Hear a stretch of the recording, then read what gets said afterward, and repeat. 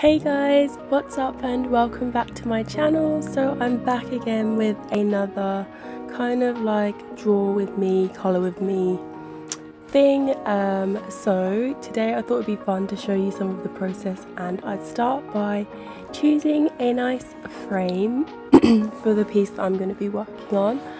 Um, for those of you wondering, the picture frames that I I have. I usually get them in like charity shops, vintage shops, like uh, car boot sales, markets.